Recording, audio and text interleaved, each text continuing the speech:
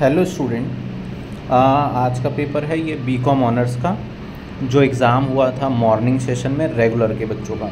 उनका question paper है, आप देख सकते हैं। आप इसमें थोड़ा सा आइडिया ले सकते हैं कि क्या क्या चीज़ें पेपर में आ चुका है। दोनों ऑनर्स का था और ऑनर्स और प्रोग्राम दोनों बिल्कुल अलग होता है, इस बात का ध्यान रखिएगा। बस आइडिया लीजिए कि क्या क्या आ सकता है। आपका दोनों पेपर का मिक्स करके बहुत सारे पॉइंट्स आ सकते हैं पेपर में, ध्यान रखिएगा।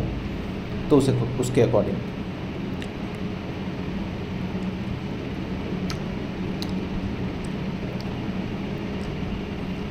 इंडिपेंडेंट डायरेक्टर आया है, एक डी फैक्टो डायरेक्टर होता है, उसे भी आप ध्यान रखिएगा। इंडोर मैनेजमेंट देखिए रिपीट हो गया, पहले भी था, अब भी आ गया एक कंस्ट्रक्टिव नोटिस होता है, वो भी ध्यान रखिएगा आप।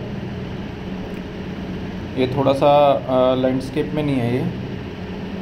तो आप इसको आराम से पढ़ सकते हैं क्वेश्चन को।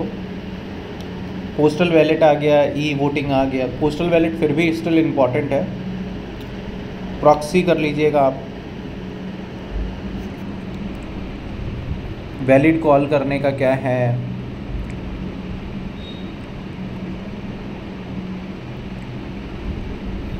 एनसीएलटी देखिए, फिर से आ गया, पहले भी आया था रिपीट हुआ है क्वेश्चन तो वो चीज़ें हैं कि आपके 20 से 25 परसेंट तो रिपीट मिल जाएगा इस पेपर में सर। इनफैक्ट ज़्यादा भी मिल सकता है। देखिए explain the provision regarding under the proxy मैंने पहले भी बोला था कि जो जो छूट गया उन चीज़ों को। तो अब आपका फोकस होना चाहिए। आप ऐसा मत सोचिएगा कि इस पेपर में प्रॉक्सी आ गया तो आपके पेपर में नहीं आएगा। आप प्रोग्राम के बच्चे हो तो आ सकता है। तो इसलिए आप चीज़ों को रिमाइंड रखिएगा।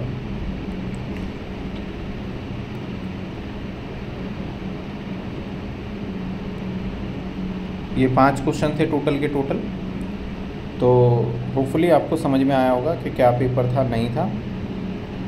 Third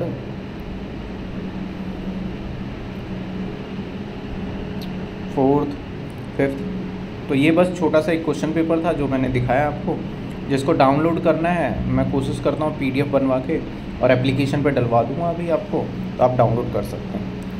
ठीक है, आप पेपर जाइए विदाउट टेंशन के दीजिए। थैंक यू सो मच आज लास्ट पेपर है।